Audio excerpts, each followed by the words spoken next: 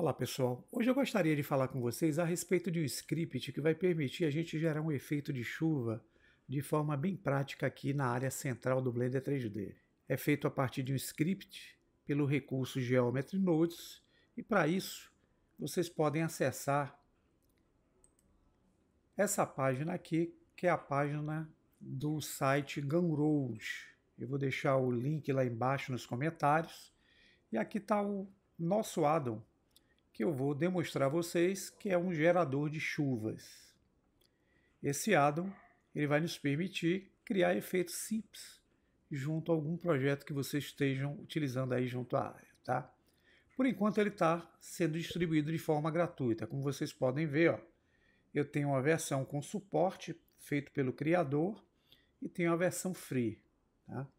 Então, caso vocês queiram baixar a versão para experimentar, vocês podem botar o valor zero aqui clicar em Purchase, ele vai te levar para uma página onde vocês podem botar um endereço que vocês tenham aí de um e-mail qualquer que vocês desejam utilizar, isso é gratuito, tá pessoal? E cria uma senha para poder ter acesso e baixar o, o addon. Tem também ó, uma página dentro do Gumroad, onde vocês podem ver que ele disponibiliza outros addons interessantes a respeito do procedural Brick Wall, Asset for Blender, ele vai criar um efeito procedural aqui na malha para dar esse efeito de muros é zero também, vocês podem baixar gratuitamente. Tem esse gerador de vila medieval, vai custar aqui 3 dólares, caso vocês queiram baixar. E aqui tem também ó, um gerador que cria aquele efeito de condensação de uma água numa superfície fria. Vocês podem também baixar de forma gratuita.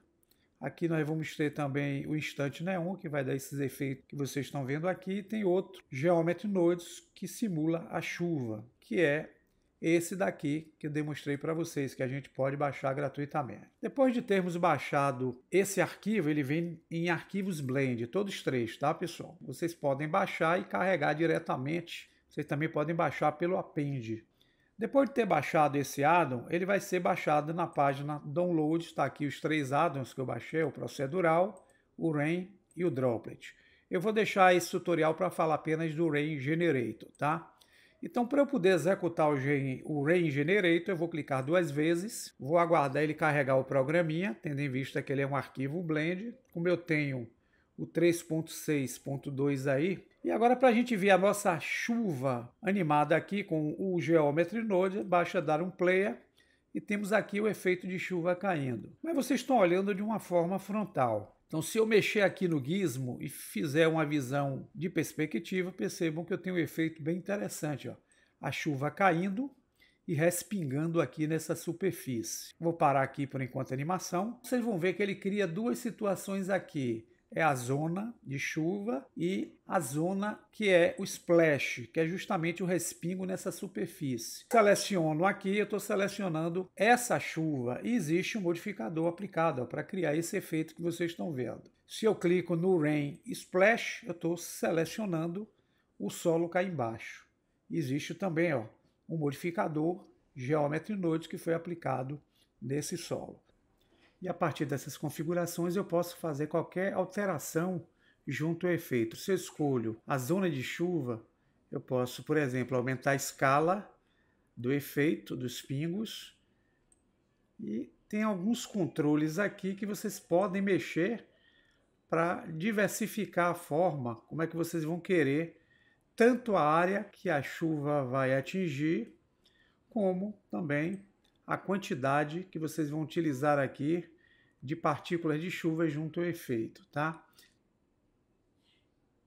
Dando um player, a velocidade eu posso aumentar ou diminuir a partir desse ponto aqui, denominado fall speed.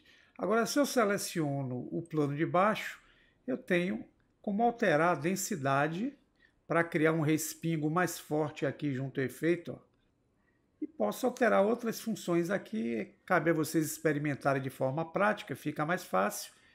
E eu posso fazer algo mais interessante aqui também junto à cena.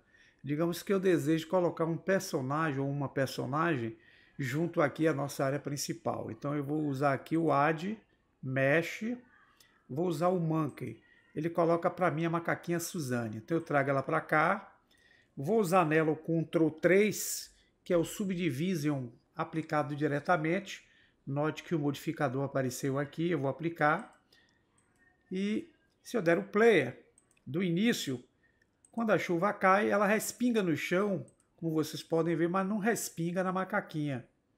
Então, uma das formas que eu tenho de aplicar o efeito na macaquinha é selecionando ela com Shift pressionado, eu venho seleciono o chão. Uso o atalho Ctrl L, abro o menu Transfer Data e aqui eu vou copiar esse modificador do solo para a macaquinha. Uso Copy Modifier. Agora, clicando fora, se eu selecionar a macaquinha, percebam que ela tem ó, o mesmo recurso Geometry Nodes aplicado nela. Agora, se eu der o Player, a macaquinha tem ó, a chuva respingando na sua superfície. Então, cabe a vocês usarem esse ADO com alguma finalidade interessante aí dentro do projeto de vocês. Fica aí mais uma dica para vocês. Espero que tenham um bom proveito e agradeço pela atenção de cada um que chegou até o final desse vídeo e compreendeu como é que funciona. Grande abraço a todos e um bom final de semana.